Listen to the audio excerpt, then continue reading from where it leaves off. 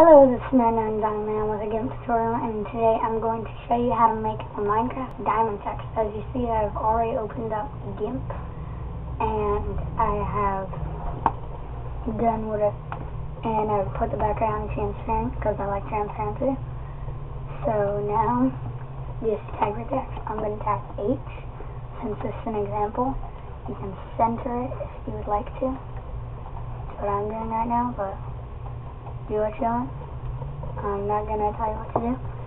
Alright, now we go back to the text tool and go H again. This time make the color 8C, 8C, 8C. And that's good. I'll put them together, kind of, kind of scrunch them up, make it kind of in a way of a drop shadow. Now, after that, we're going to do text the same thing can copy paste it, but I'm not because I'm only using one letter. And uh, then you type in B5, B5, B5, B5 on the color board. 8B5, B5, B5. Okay, so that's the code for it, and it's a lighter gray, and it's really, really good for this color.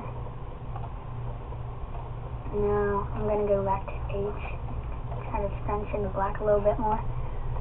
Okay, so now we got filters, blur, Gaussian blur.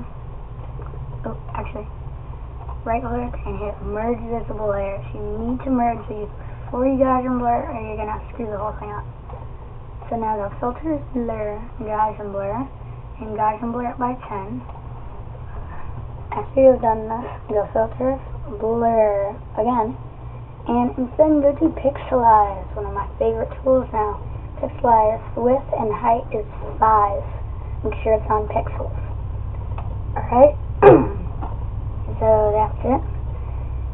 And now we just color the second So go colors, color balance. Go to your shadows.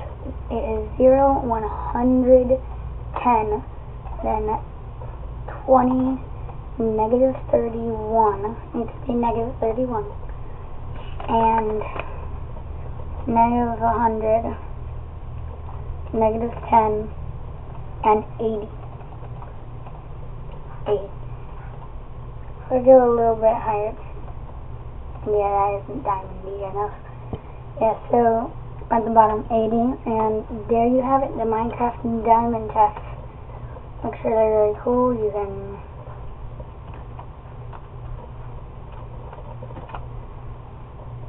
I'm going to paste it, move it around, center it.